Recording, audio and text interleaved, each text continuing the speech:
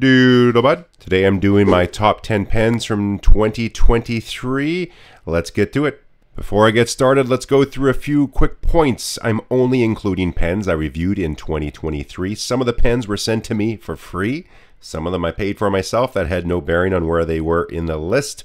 Number three, pens number 10 through 4 are just in no particular order.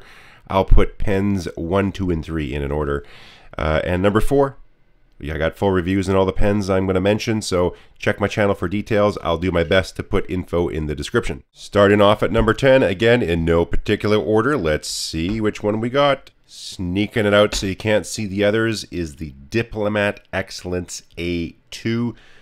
I just love this pen. I think it looks really sharp, gorgeous uh, spring clip here. Just how it works. I like clips that you can push on the back and they open. If you makes it, you know, slipping it into a, uh, a shirt pocket easier. You can just pop it in there or notebook, whatever it is.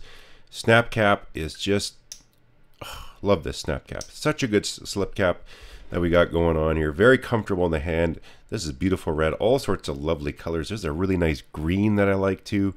There's browns. There's just I think there's something for everyone. Super comfortable. It's weighty, but not too heavy. I could maybe see for some folks it'd be too heavy, but I really enjoy it. The nibs are fantastic on here.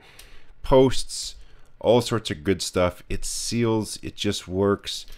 Really, no negatives about this pen. It's a joy to use. I look forward to every time I pull it out and you just pop it out, go to write. It's always ready to go. I think this looks gorgeous. It works great. Fantastic pen. Number nine, but again, no particular order, is the Graf von Faber-Castell Tamitio, or maybe it's Tamitio, don't know 100%, but just has those classic stylings that uh, Graf von Faber-Castell has, especially with the cap. That's sort of a trademark type thing they have going on with all their pens. Lovely clip. Again, it's another uh, slip cap, snap cap deal. Just goes on there nice and subtle, nice and quiet. I think it's great styling. This makes a great business pen. Again, it has a little bit of weight to it. I sort of enjoy that. Their uh, nibs out of the box, I think, are some of the best nibs there are. It just, I think it looks great. These ribs that run along here, it's comfortable. This, I mean, it is not really a section. It's more of a styling cue. It's so subtle, uh, you know, to go with it. There's not a big bump or anything, so that you're not supposed to just grip it right there. You just grab wherever you feel it's comfortable, and you're rewarded with a lovely writing experience. It does post. That might make it back heavy for some folks, but for me and my hand size, it's great. And it's it's just a fantastic nib. I think it looks fantastic. This I really like. I don't put many pens in my suit jacket pockets. I put this one in there. Uh, whoops, quite a bit and I just love the looks of it. I think it's a great pen. Um, one little thing I've noticed after using it for a while, it's not like the best pen I have for sealing. It's also not the worst. It's pretty good. If you get a, an ink in here that's reasonably wet, you can last quite some time, uh, minimum two weeks. But I, I, you know, I even tested it over a month, and there's some inks I have in here where, um, you know, leaving it inked cap on, month later, pull it out, and it writes right away. If you have inks that are a bit drier, it will dry out a little bit quicker on this pen. But if it's uh, in regular use, you're not leaving it for three, four months, and then you go back to expect it to write right away. There are pens like that. I find this is probably not the best pen for that, but one you're going to use frequently. Man, I, I this is probably one of my most ink pens of the entire year. Let's put that back in and pull out another one. What do we got here? Oh, we got the Pineider Modern Times. I uh, was sent this one by Pen Chalet. This is a very interesting design. They say it's the most comfortable grip. For me, it's extremely comfortable. I really enjoy how it sits in the hand. I, I just kept going back to this pen. As soon as I inked it up, I was just all over that, and I just have loved it the entire time. I was quite worried with how well it seals. Uh, magnetic cap pens are kind of sometimes notorious for not sealing that great. You can make it seal well, but a lot of times they don't. This one has sealed surprisingly well. All has to do, if we can get contrast here, uh, with this little O-ring, this little gasket here at the bottom, and how it fits up there into the cap. That is the sealing mechanism on there, and I gotta tell you, it works surprisingly well. Uh, I was inking this with my, you know, very uh, favorite ink I like, which is my uh, Octopus Fluids Koi Blue. Uh, really enjoy that ink quite a bit. I just use this pen all the time for that. It was just a joy to use, nice and smooth.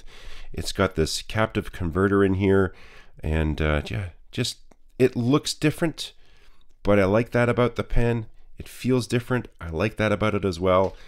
And again, I like you can set it down flat, doesn't roll.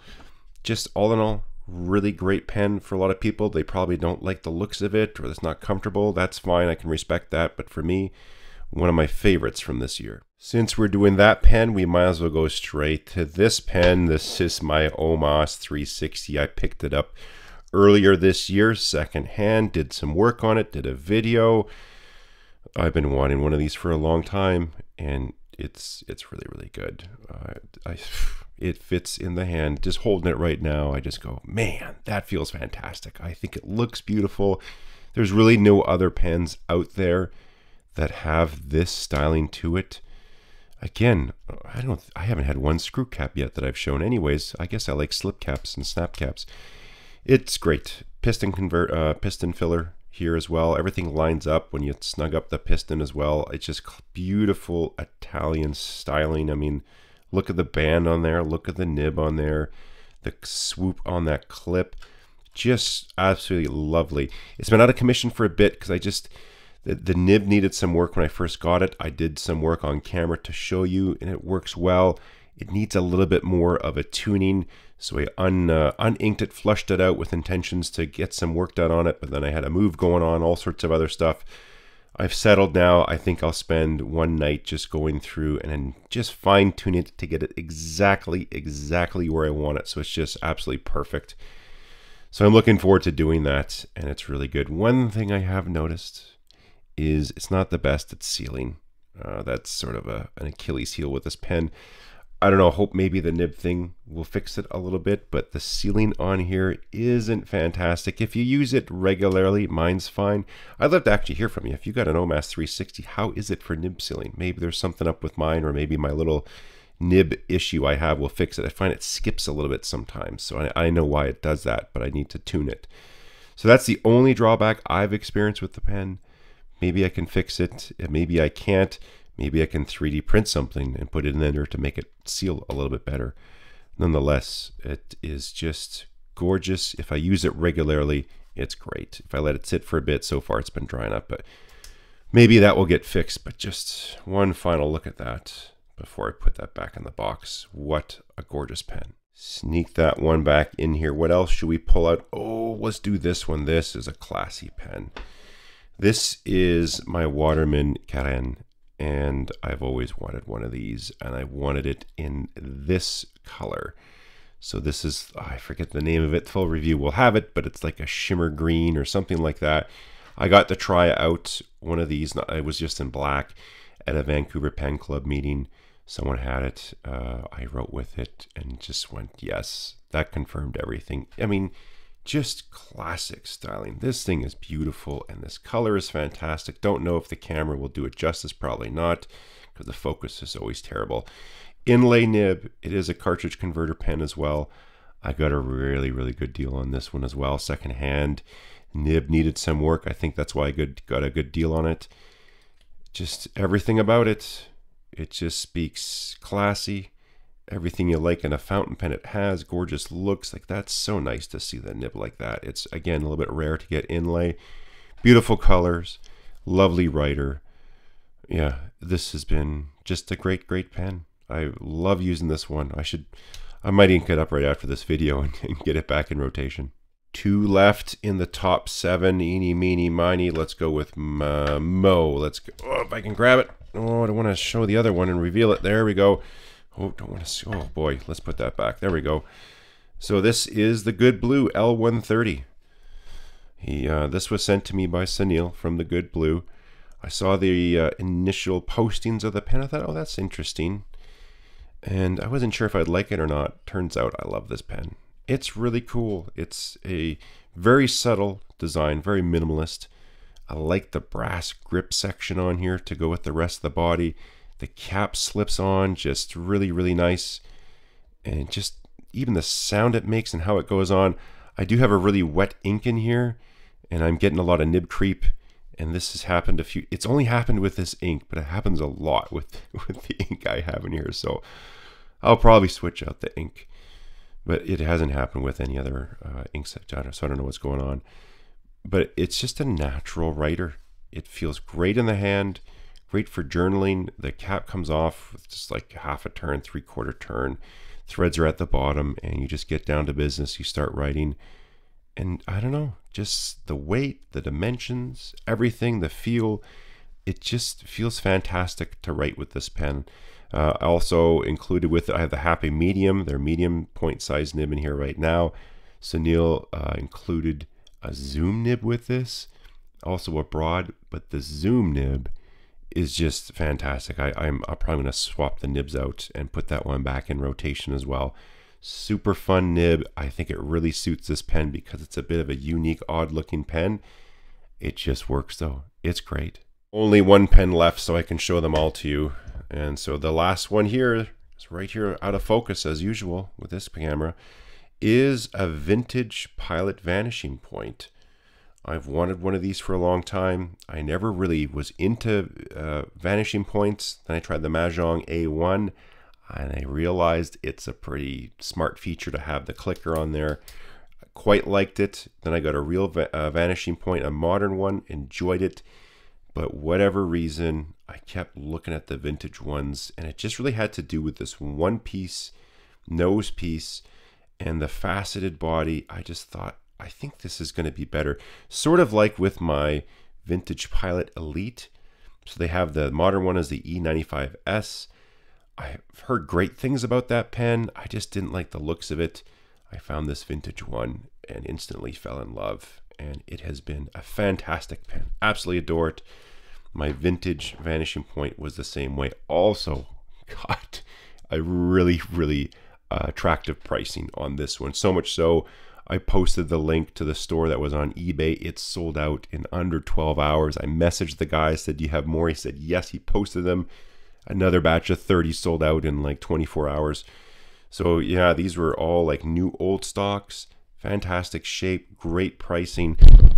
Just dropped the camera there, but uh, been rewarded with a lovely pen super reliable. I like the feel of this vintage vanishing point over all of the other, whether it's a legit one or the Majohn A1. I prefer this over all of them. And I'm, uh, yeah, I can't get enough of this pen too. So that is seven of my top 10. The last top three pens are in this little case. As I open the case to reveal the top three, I'm still a little unsure of the order. Okay, I've made up my mind. Number three is the Ensso Piuma in Urushi. This was recently sent to me by Carlo from Enso. This was his very first Urushi pen. He just loves the whole process and the looks of Urushi. And he shared one with me. This is a limited first batch. He did only 50 pens. And I never understood why these were so special until I got to hold one and I realized right away it just feels fantastic. Like just a natural writer. This could easily be number two instead of number three or even number one. They're really all super close together. Honestly, it's almost all a tie. But it just feels so good in the hand. The nib is quite nice, but really just the whole package. I love the uh, vermilion red urushi underneath. They have the black coat over top, and it just comes through in those little sections there it makes me think of uh, you know going into a sushi restaurant and you get those little sometimes it's in a bento box or your little bowl that has your miso soup. I never realized those were they're always plastic the places i go but they're like fake urushi. This is the real deal. So all that black and red it just looks just stunning.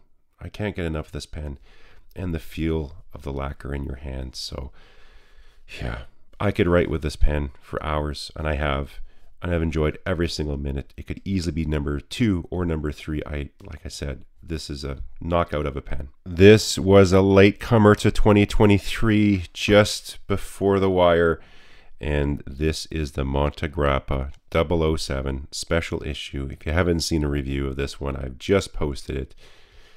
Super cool. incredibly unexpected that this pen was sent to me and I got to keep it. I just, that kind of blew my mind. I've never had a pen like this, and it is just awesome. I love writing with this one. I, the nib is fantastic on here. Never had a 14 karat gold stub nib before, and I've been pleasantly rewarded with how it writes, the feel of it, all the little details I gave in the full review, but how it sort of pairs with the classic James Bond Walther PPK from the knurling here. That represents the grip on the pistol. The, here you have the end, so the rifling, whether it's at the start of the movie or on the pistol itself. This is the barrel protruding out. This whole cap represents the slide to, to cock it and chamber around. You got the grips here for that. And same with on here, there's a little safety mechanism. So I thought this was super cool that this essentially is supposed to be the matching pen to go with James Bond's pistol, which is so iconic in the movie. And it feels great in the hand. I have drained the converter, I think it's at least three or four times in a very short period of time because I just want to keep writing with it. Even if I'm writing nothing, I, I want to write with it. So I think this is going to be in heavy rotation. It's designed to write, it's meant to write. That nib is, the, like I said, the stub. I think this is fantastic for signatures. And another thing I wasn't able to mention in the video, but um, I was I was given permission afterwards, after I published it. They're even honoring the discount code, the Doodlebud10 code. So again, I'll have a link in the description. Um, if this is something in your price range that you've considered, I know it's an expensive pen, you get an extra 10% off too. So that was super cool. They did that for this pen. But uh, I will be continuing to use this pen a ton, along with the Ensso Piuma Urushi, and also, especially, along with pen number one. And number one for 2023 is right in the middle. This, I think, is number one because I was pleasantly surprised. This is a vintage uh, Montblanc Noblesse. And it's the full gold body. I don't know what it was, but this year I wanted a full gold pen with some cool type of stuff on the barrel. And there's lots of pens out there. For whatever reason, my instincts told me, I think I'm going to like this pen.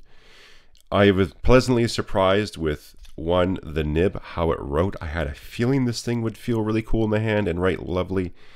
And it does. It, it's weird. It's soft and it feels bouncy, but the nib doesn't really bounce. It's interesting. Has a strange little grind. It's a little bit of an architect grind on it, but it's really uh, nice and smooth. It posts on there nice and secure. I was worried with this pen that it wouldn't seal very well. This thing seals fantastic. I did a test. I left it for it was uh, over two months. Popped the cap off, wrote with it, and it was spot on. This thing has not skipped a beat since the day I got it and put ink in it. It has written every single time.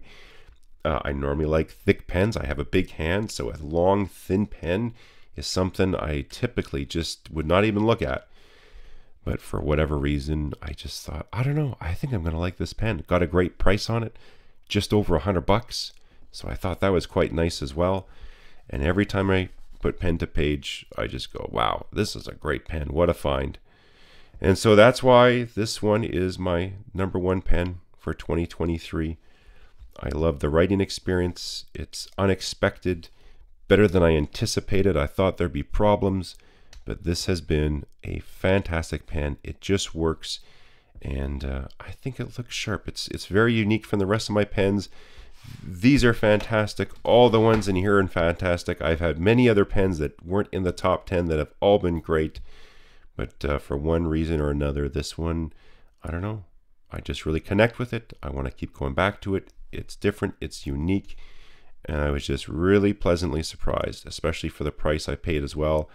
And uh, I didn't think I'd like it, but I got it anyways, and I love it. So those are the top three. These are the other top 10. It's been a really good year for pens for me, and there was a bunch of other fantastic pens I received as well and purchased and I only had a really a few, a couple bad pens the entire year. Everything else has been fantastic. I understand most of these pens are quite pricey. I will be doing a video soon on what I think are some fantastic pens for just getting into the hobby or more budget uh, friendly ones like well under the $100 range and well under 50 uh, there may only be one or two that are 50 or above but most of them will be a lot more uh, lower priced. Uh, keep your eyes out for that video because I am working on it. One way to make sure you don't miss it is you hit subscribe. That's a good idea. Another good idea, thumbs up, and even better, let's comment. That's it for now. Catch you next time.